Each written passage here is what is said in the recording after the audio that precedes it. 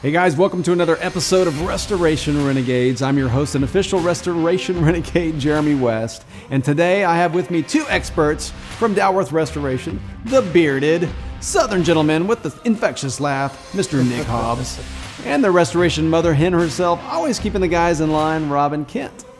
And last but not least, the official redneck do it yourselfer renegade, Mr. Jason Ward. All right, guys, we've got an important question here, and it's one of the most important questions, or most of the popular questions, and that is how do we find a water leak inside a wall? Wow, you know, I can just see somebody coming to work one day and they open up, start walking through the office, and they hear the sloshing of water. Right. And uh, they may see this water, but may not know where the leak is coming from. So, is that a plumber question? Is that a water leak detection company question, or is that a restoration question at that point?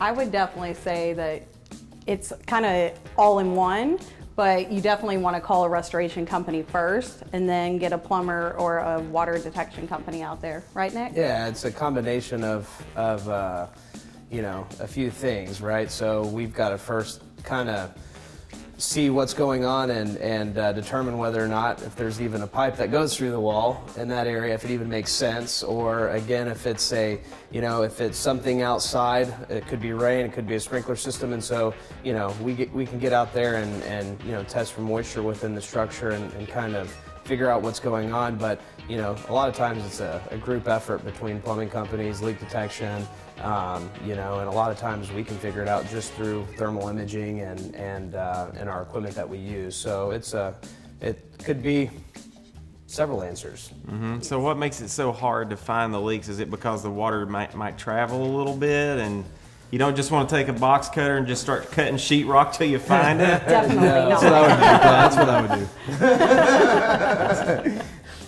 Yeah, if you want to increase the cost, go for it. Yeah, okay. So how do you find it? What I mean, what what does a person do, and what do you hear on the phone? Like people asking questions like, "How do I find this thing?" What do you guys do?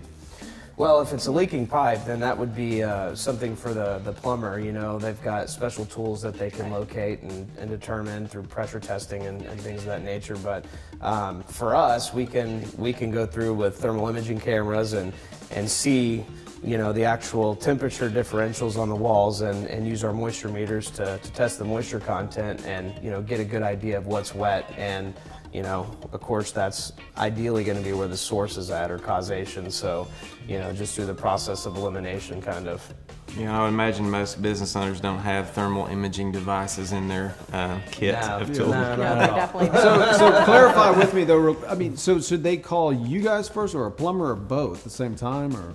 Well, sometimes it, it happens that way. I think a lot of times they're freaked out just because they've got water on the Right. on the flooring and, and they need a company like us to come out and start the drying process to mitigate the damage. Um, but then again, a lot of times they'll call us in conjunction with the plumber. So, um, you know, it could be several different different ways that it happens or goes down. All right, guys. So if you have a water leak, call a plumber or leak detection company. And if you have physical water damage, go to restorationrenegades.com to find the official renegades in your area. And also be sure to subscribe to this channel and click the bell so that you get all of our updates. And we'll see you on the next episode of Restoration Renegades.